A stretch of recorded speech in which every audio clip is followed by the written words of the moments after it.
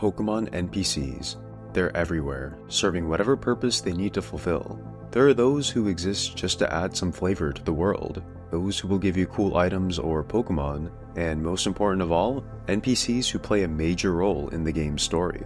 But among all of them, arguably the most impactful are the villains. They're some of the most memorable and iconic characters in the series, and no matter how big or small their presence is in the story, once encountered, they'll leave a sour taste in the player's mouth. But I feel like there's one Pokemon villain that's sort of overlooked. Not because they're particularly forgettable, but simply because they're encountered so early in the game and only serve the purpose of scamming inexperienced players into making an annoying mistake. A mistake that, once learned, often never gets made again. But who is this mysterious scammer, you may ask? Well, it's none other than the iconic Magikarp salesman located in front of Mount Moon, where rookie trainers are given no choice but to encounter him. But believe it or not, this guy, who wants an outrageous amount for his useless fish, is actually not a villain. No, he's not. In fact, he's actually been on your side this entire time.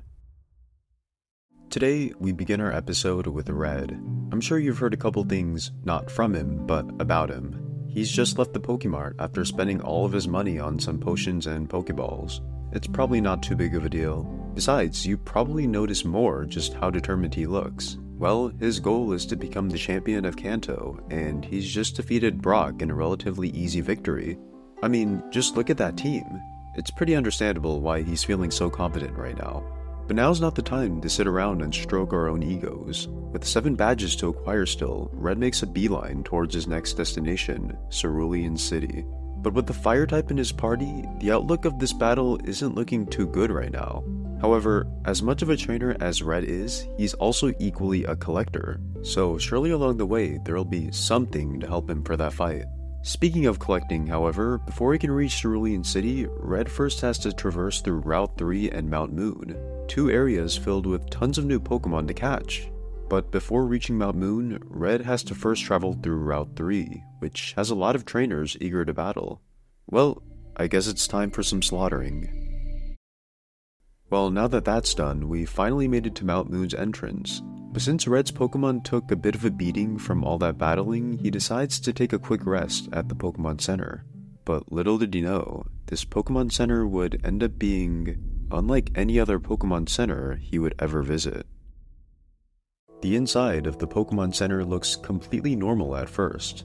To the right of Red is a table with a few cushions to sit on, as well as the PC to deposit and withdraw Pokemon from. And of course, in front of him awaits Nurse Joy, but as he walks up to her to heal his Pokemon, something catches his eye. To the left is a lonely, unique looking man standing in the corner all by himself. Being the inquisitive, although sometimes naive, kid he is, Red decides to strike up a conversation with him. His demeanor is friendly, but a bit shifty, as if he's got something to let off his chest immediately. And this proves true, as without warning, he makes the first move, offering just the deal for Red. What is this deal? It's none other than a secret Pokemon, a Magikarp.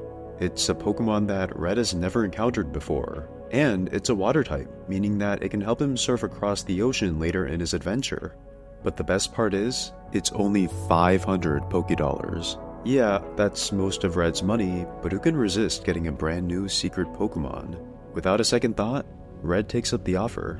The salesman grins as he quietly laughs to himself. After all, he doesn't give refunds. Red should have known what he was getting himself into. And what a fool Red was. He let his naivety get to him. Now he's got no money left, and he still has to go through Mount Moon, all with a useless fish on his back that won't contribute at all in battle. He's made a terrible, terrible mistake. Or has he?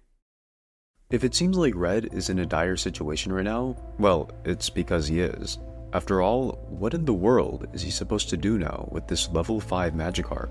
There's no point in throwing it away now, as that would be a waste. But sending it into battle, it has nothing to offer besides letting out a vain splash. But Red isn't just some ordinary kid, he's done his fair share of Pokemon research.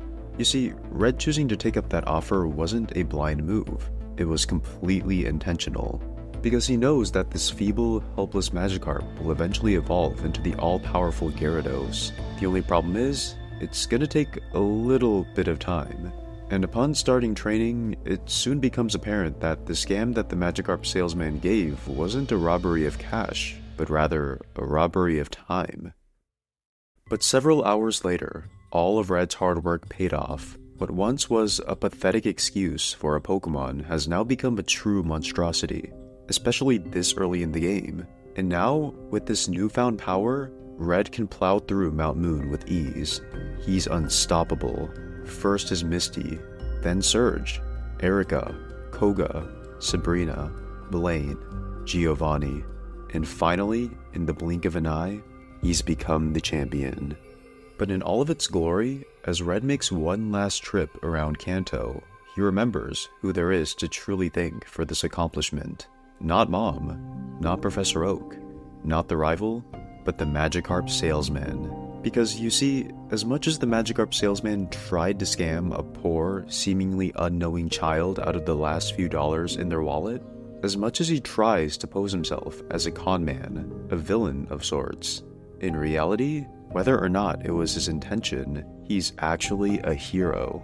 All this time, while he believed that he was making easy cash by scamming a new trainer, the only one truly getting scammed in the end was himself. After all, he was the one who gave Red the weapon he needed to conquer the entire Kanto region with ease. And in a way, this NPC who was supposed to teach people not to take random offers from strangers has inadvertently taught us a completely different lesson. The Magikarp he gave without a care resembles the indifference of others when there's nothing special to offer. Why care about this single Magikarp when there are millions of others in the ocean doing the exact same thing? But with patience and unyielding determination, it leaped above the waterfall to become an unforgettable presence. What the Magikarp salesman truly teaches us is that no matter how deep in the ground you are, no matter how hopeless things seem to be in your current point in life, don't ever think about throwing the towel in so early, because one day, you too will leap over the massive waterfall and become something greater than ever. Oh, yeah, and still don't take random offers from people you don't know.